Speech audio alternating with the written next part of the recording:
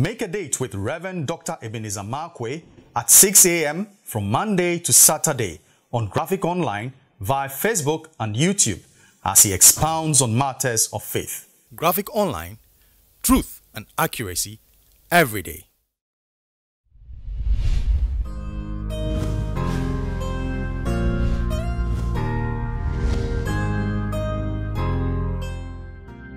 Hello, this is Reverend Dr. Ebenezer Markwei of Living Streams International, bringing you matters of faith with Graphic Online.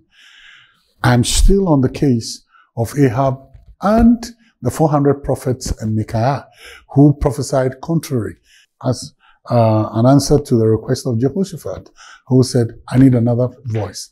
I need something different than just this one. Uh, I'm, I'm very intrigued by, by this.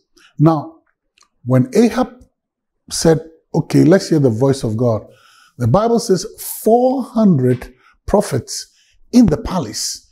They came and then they all prophesied, go to war. And here is the interesting thing. God said, I want to deal with Ahab. I'm bringing Ahab to judgment. And yet, these 400 prophets, that's number one, uh, prophets, no, uh, one, they had revelation. That is, their ears and their eyes are open. Their spiritual ears and their spiritual eyes are open. They can see and they can hear from God. They had a reputation. They had a respect. They had a reverence and they had uh, that, that, that, that, the, the list of, of prophets. That was who they were. But the Bible said they all prophesied wrongly. And it was somebody else who came from outside who said, this thing, when you're going to, you will die.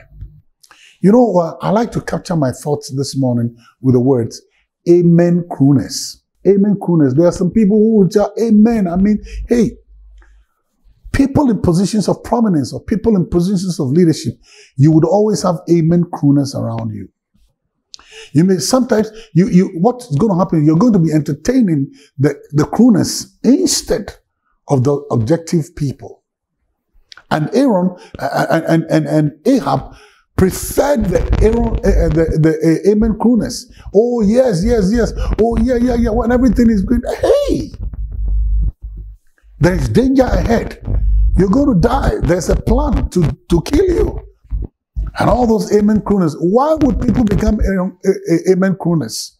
The reason why they're amen crooners is because there is something to gain. They were paid by the palace. These prophets were on the palace payroll prophets on the palace payroll. Not just prophets on the palace payroll, they live for the pleasure of the palace. And they live at the behest of palace pleasure. They live the palace payroll. They live at the palace. Uh, they, they live in the pleasure of the palace, and they were also there at the behest of palace pleasure. That is what palace wanted them to do. That is what they wanted to do. Are you prophesying because you are being paid by the palace? Or do you speak because you are getting benefits from the palace?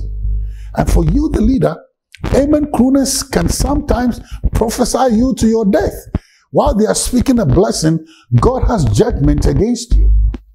And sometimes it, it's, it's the leadership is always surrounded by these amen crooners. Everything you say, amen. If you sneeze, amen. Whatever you do, any noise you make, upstairs, downstairs, is amen. No one can say that, hmm, this thing doesn't smell nice. You can't get people to stand up and say, this thing doesn't smell nice. It is not fragrance, it is flatulence. Excuse my language. And sometimes we get amen crooners who can't, who can be objective. I can be objective without being, uh, without malice.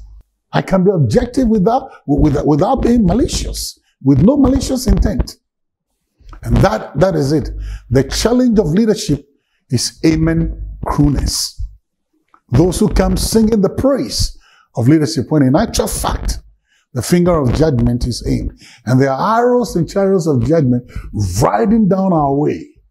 Well, as a leader, you have a choice to either listen to amen crooners or listen to the voice of objectivity.